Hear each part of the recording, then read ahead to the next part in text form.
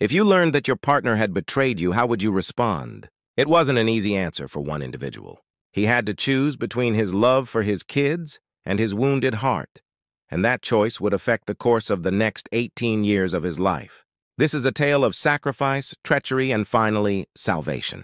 You can get your daily fix of real-life drama at Stories. Mike stared at the text message on his phone, his hands shaking. His whole world was falling apart. The words on the screen burned into his brain. I saw Sarah with another man. They were kissing. I'm so sorry, Mike. The message was from his mother. Mike felt like he couldn't breathe. How could Sarah do this to him? To their family? He heard the front door open and close. Sarah was home. Mike's heart pounded in his chest as he stood up from the couch. He had to confront her. He had to know the truth. Sarah walked into the living room, her smile fading as she saw Mike's face. What's wrong? she asked, her voice filled with concern. With his voice hardly audible above a whisper, Mike raised his phone. Is that accurate? Struggling to control his feelings, he asked. Sarah's eyes widened in terror as her face turned pale. What topic are you discussing? Mike could see the remorse written all over her face, even though she stammered. Please don't mislead me, Mike yelled, causing Sarah to startle. His voice echoed through the house, years of trust and love crumbling with each word. My mom saw you. She saw you kissing another man. How could you do this to me? To our kids? Tears filled Sarah's eyes, spilling down her cheeks. Mike, I, I can explain, she pleaded, her voice shaking. Mike laughed, but there was no joy in it. The sound was hollow, filled with pain and disbelief. Explain. Explain how you broke our wedding vows, how you threw away our whole life together. His voice cracked on the last word, the weight of his emotions threatening to overwhelm him. Sarah sat down heavily on the couch, her shoulders shaking as she cried. I'm sorry, she said, her words muffled by her sobs. I didn't mean for it to happen. It just did. Mike paced back and forth, his anger growing with each step. The room felt too small, the walls closing in on him. Who is he? He demanded. Do I know him? Sarah shook her head, not daring to look Mike in the eye. No, you don't know him. He's someone I met at work. Do you love him? Mike asked, dreading the answer but needing to know.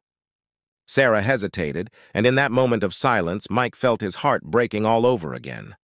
I, I have feelings for him, she finally admitted, but I don't love him. Not like I love you. Mike felt like he'd been punched in the stomach.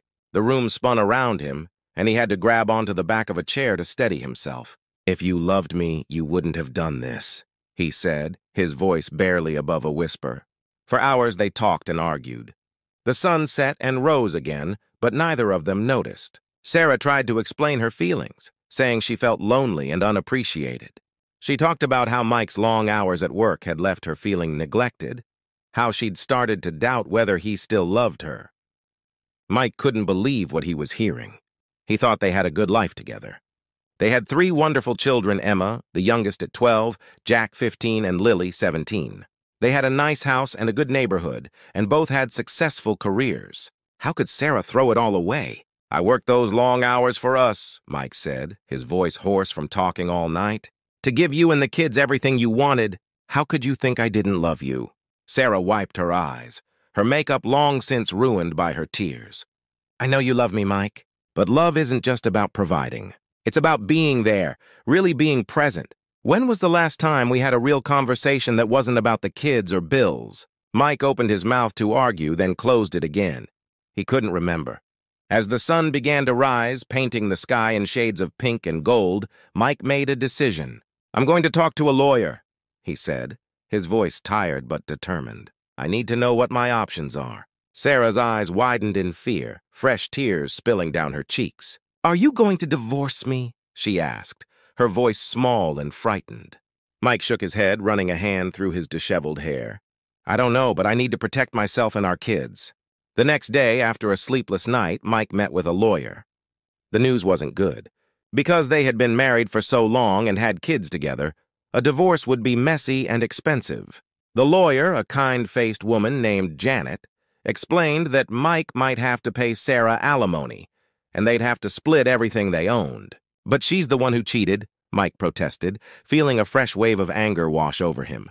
Janet nodded sympathetically. I understand, Mike, but in the eyes of the law, that doesn't always matter as much as we think it should. The court's primary concern will be the welfare of your children. When Mike got home, he found Sarah sitting on the couch, her eyes red and puffy from crying. He told her what the lawyer said, watching as her face crumpled. How can you do this to me? She cried, her voice rising hysterically. You're ruining my life. Mike couldn't believe what he was hearing. The unfairness of it all hit him like a tidal wave, threatening to drown him in anger and hurt. I'm ruining your life, he shouted back, his composure finally breaking. You're the one who cheated. What about our kids? Did you think about how this would affect them? Sarah wiped her eyes, her shoulders slumping in defeat. Of course I thought about them, she said quietly. That's why I want to fix this. Can't we try to work it out? For the kids? Mike wanted to say no, Every fiber of his being screamed at him to pack his bags and leave, to never look back. But as he opened his mouth to refuse, he saw a family photo on the mantel. It was from their last vacation, all five of them smiling on a sunny beach. His children's happy faces stared back at him, and he felt his resolve weaken. He thought about his kids, about how sad and confused they would be if he left. As her family collapsed, he pictured Lily, who was about to enter her senior year of high school, attempting to concentrate on her college applications. He considered Jack, who was already dealing with the stresses of adolescence and now had to handle his parents' divorce on top of everything else. Emma, who was still very little and naive, was unable to comprehend her father's move out of the house. Finally, after what felt like hours, but was probably only a few minutes, Mike spoke. We can try counseling, he said, his voice heavy with reluctance. But I'm not making any promises. Sarah's face lit up with hope, but Mike held up a hand to stop her before she could speak. This doesn't mean I forgive you, he said firmly, and it doesn't mean we're okay. It just means I'm willing to try for the kid's sake. For the next few weeks, Mike and Sarah went to a marriage counselor. At first, it was hard. They argued a lot, rehashing old grievances and hurts. Mike still felt angry and betrayed, while Sarah swung between defensive anger and tearful remorse. But slowly, things started to get a little better. Under the guidance of their counselor, a patient woman named Dr. Reynolds, they learned to talk to each other without yelling. They started to understand the underlying issues that had led to Sarah's affair. Dr. Reynolds helped them see that their marriage had problems long before Sarah's infidelity. Mike worked long hours and often forgot to show Sarah how much he cared. He'd gotten so caught up in providing for his family that he'd forgotten to be present for them. Sarah, feeling neglected and unappreciated, had started looking for attention elsewhere. This didn't make what Sarah did okay, but it helped Mike understand why it happened. It also forced him to confront his own role in the breakdown of their marriage. For a while, things seemed to be getting better. Mike and Sarah were talking more, really listening to each other for the first time in years. They started having date nights again, leaving the kids with Mike's mom and going out to dinner or a movie. They both tried hard to make their marriage work, to rebuild the trust and love that had been shattered. But even though things were better on the surface, Mike couldn't forget what Sarah had done. The wound was too deep, the betrayal too profound. Every time she was late coming home from work, he wondered if she was with someone else. When her phone buzzed with a text message, he had to fight the urge to grab it and see who it was from. He didn't trust her anymore, and he didn't know if he ever would again. Mike's mom kept telling him to leave Sarah. She broke your heart once, she said during one of their weekly phone calls. She'll do it again. You deserve better than this, Mike.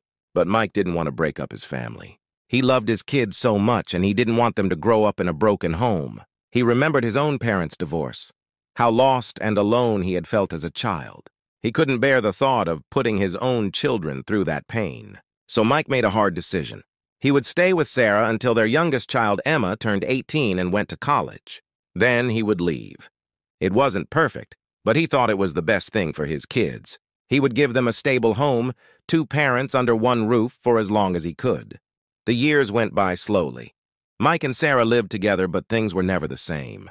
They were like two strangers sharing a house, going through the motions of a marriage without any of the love or intimacy. They took care of the kids and tried to make their home happy, but the love and trust between them was gone. Mike threw himself into his children's lives, determined to be the best father he could be. He never missed a soccer game or a school play. He helped with homework, taught them to drive, and was always there with a listening ear and a shoulder to cry on. Sarah, too, tried to be a good mother. She baked cookies for bake sales, chaperoned school dances, and did her best to create a warm and loving home. But there was always a sadness in her eyes, a regret that never quite went away. The kids, perceptive as children often are, sensed the tension between their parents. Lily, the oldest, asked Mike once why he and Mom never kissed anymore. Mike had fumbled for an answer, finally telling her that sometimes grown-ups show love in different ways. He wasn't sure she believed him. Finally, after what felt like an eternity, the day came. Emma, their baby, was going off to college. As they helped her move into her dorm room, Mike felt a mix of emotions, pride in his daughter, sadness at this chapter of his life ending, but also a sense of relief. He had kept his promise. He had stayed for his kids. Now it was time to think about himself. That night, after they got home from dropping Emma off, Mike told Sarah his decision. They sat at the kitchen table, the same one where they'd shared family dinners for years, now eerily quiet without the chatter of children. I'm leaving, he said, his voice calm but firm. I've stayed all these years for the kids, but I can't do it anymore. Sarah's face crumpled, tears filling her eyes. Please, Mike, she begged. We can start over. Now that the kids are gone, we can focus on us. We can fall in love again. Mike shook his head sadly. I'm sorry, Sarah, but I don't think I can ever trust you again. And without trust, there can't be love. Sarah cried and pleaded, but Mike's mind was made up. The next day, he packed his things and moved out. It was hard. Harder than he had ever imagined, but he knew it was the right thing to do. The kids were upset when they found out. They didn't understand why their parents were splitting up now, after all these years. Mike sat them down and explained as best he could. He told them he loved them very much and that he had stayed all these years because he wanted to be there for them. He said that even though he and their mom weren't together anymore, they would always be a family. Over time, the kids started to understand. They saw that their dad was happier now. He smiled more and seemed more relaxed. They still spent lots of time with him, and their relationship grew even stronger. Mike was there for every important moment. Lily's law school graduation, Jack's wedding, Emma's first art show. He was a constant presence in their lives, a rock they could always depend on. Mike learned that being alone didn't mean being lonely. He had his kids, his friends, and his work. He started to do things he enjoyed, but had given up over the years. He took up painting again, finding solace in the sweep of a brush across canvas. He joined a hiking club, rediscovering his love for nature and adventure. For the first time in years, he felt truly happy. Sarah struggled more with the divorce. She had thought Mike would stay forever, even though things weren't good between them. She realized too late how much she had hurt him and how much she had lost because of her mistake. She went to therapy trying to understand why she had risked everything for a brief affair. It was a long, painful process, but slowly she began to heal. Years passed. Mike's kids grew up and had families of their own. He was a wonderful grandfather, always there for his grandkids with a smile, a hug, and a funny story. His children respected and loved him for the sacrifice he had made, staying in an unhappy marriage for their sake. They saw in him an example of true strength and love. One day, Mike's oldest son, Jack, asked him if he regretted staying with Sarah all those years. They were sitting on Mike's porch watching Jack's kids play in the yard. Mike thought for a moment, then shook his head. No, he said, a small smile on his face. It was hard. Probably the hardest thing I've ever done. But I got to see you kids every day. I got to be there for all the important moments in your lives. That was worth everything to me. As he looked at his son, now a grown man with kids of his own, Mike felt proud. He had made it through the hardest time in his life. He had kept his promise to his children, and even though his marriage had ended, he had found happiness again.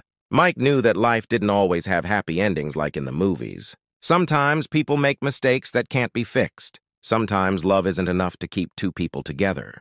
But he also knew that even in the hardest times, there can be moments of joy and love. He had found those moments with his children and grandchildren, and that was enough for him.